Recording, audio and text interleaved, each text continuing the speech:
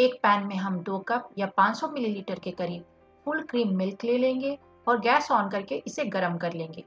जब इस दूध में एक उबाल आ जाए तो हम गैस को मीडियम फ्लेम पे कर लेंगे और इसे तब तक पकाएँगे जब तक कि हमारा जो ये मिल्क है, वो दो कप से थ्री फोर्थ कप तक ना रिड्यूस हो जाए।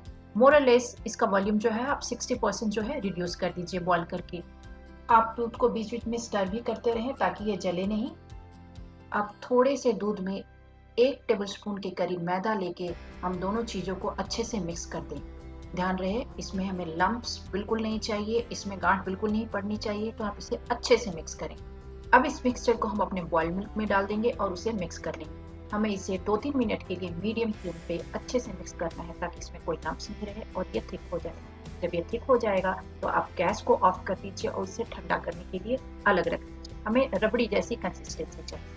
एक बोल में हम लेंगे अब 200 ग्राम के करीब बटर ठंडा नहीं लेना है रूम टेम्परेचर पे लेना है और उसमें हम ऐड करेंगे हाफ़ टी स्पून के करीब वनीला एसेंस उसके बाद हम इसमें ऐड करेंगे पाँच टेबल स्पून के करीब पीसी हुई चीनी और इन सारी चीज़ों को हम अच्छे से मिक्स कर लेंगे। अब हम इसमें ऐड करेंगे मिल्क जो हमने थिक करके रखा है, जिसकी रबड़ी बनाई है, वो इसमें ऐड कर देंगे और इसे अच्छे से मिक्स करेंगे। हमें इसे तब तक मिक्स करना है जब तक ये अपने वॉल्यूम का डबल ना हो जाए और इसकी सॉफ्ट जो है पीक्स ना बनने लगे सॉफ्ट चोटियाँ ना बनने लगे। इसके बाद हम इसे फ्रिज में 20 से 25 मिनट के लिए ठंडा होने के लिए रख देंगे। 20-25 मिनट के बाद जो है आप क्रीम को फ्रिज से निकाल लें और बोल को पलट के देखें। आप देख सकते हैं हमारा क्रीम बिल्कुल नहीं गिर रहा है। अब आपका विप क्रीम जो है वो यूज़ करने के लिए तैयार हो गया है।